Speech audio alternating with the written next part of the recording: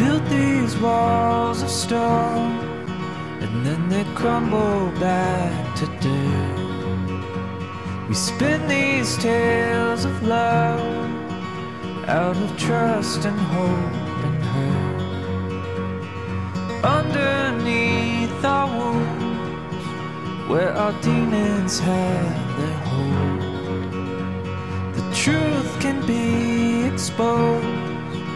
There's a strength in letting go.